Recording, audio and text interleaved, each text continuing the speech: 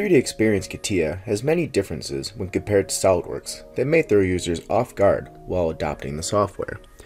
These differences can be found in areas such as infrastructure, workbenches with different functionalities, as well as features inside tools. This video will highlight a few of the major differences between SOLIDWORKS and 3D Experience CATIA to help ease this transition. With any new software, there are bound to be baseline differences such as interface and infrastructure. We will start this presentation by taking a look at those. The 3D Experience platform has a browser-based component which enables high-level access to your data anywhere at any time.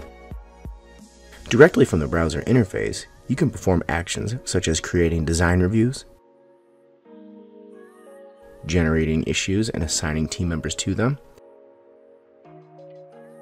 performing model comparisons, grabbing measurements, and cutting sections, only to name a few. 3D Experience is not just the software for your CAD and PLM, but a business platform that is powered simultaneously by CATIA, ENOVIA, Simulia, and Delmia.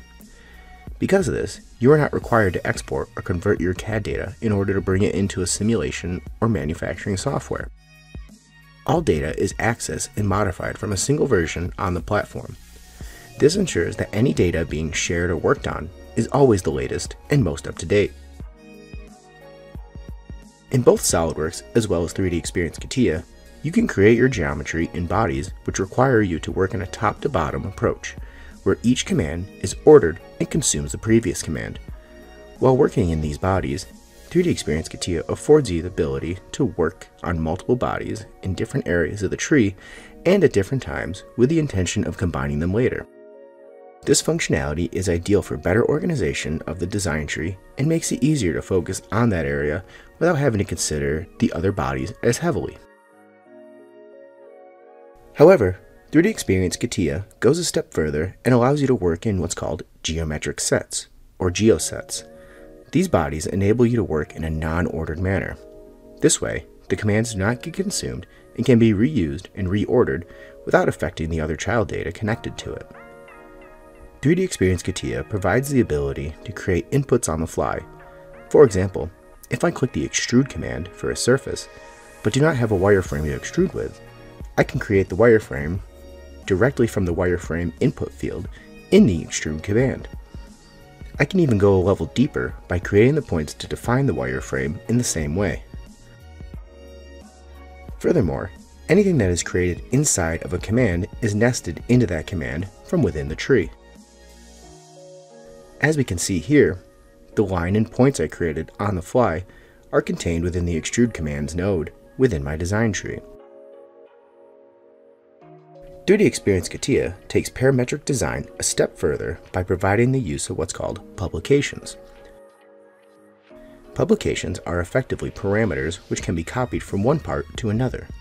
The primary difference here is that these parameters can be linked between the parent and the child. This way, when the parent parameters are modified, those modifications can easily be pushed to the child part or parts without having to replace the original reference. To access your different workbenches, 3D Experience CATIA provides a list of apps to choose from. Here, you will find many of the same workbenches provided in SOLIDWORKS, such as part, assembly, and drawing design. However, there are a number of apps offered in 3D Experience CATIA that provide additional functionality, provided that you have the proper licenses, of course.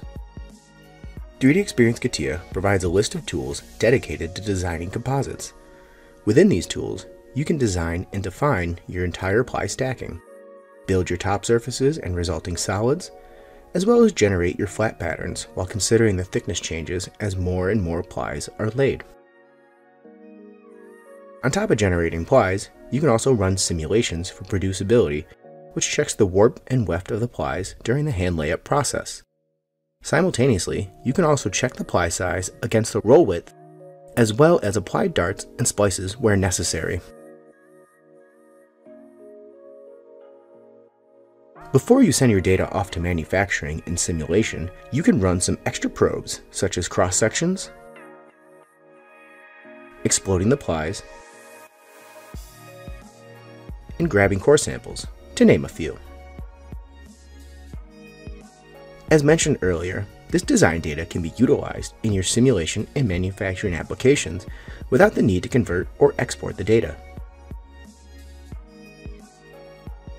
Finally, when you are ready to produce your composite parts, you have the options to create a 2D drawing complete with Ply data, generate flat patterns and export to 2D or 3D IGES, XML, or DXF, and you can also export to formats compatible with laser projectors, which assist in placing plies during the hand layup process.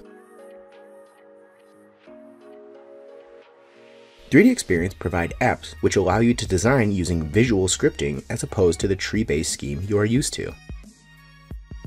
Designing in this manner affords you the ability to create patterns and lattices on a large scale that were once much more difficult when using the traditional tree method.